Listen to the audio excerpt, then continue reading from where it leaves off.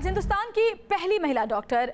by Raut की एक सौ तिरपनवीं जयंती इस मौके पर गूगल ने खास डूडल बनाकर उनको सम्मान दिया है रुकमाबाई राउत का जन्म मुंबई में 22 नवंबर अठारह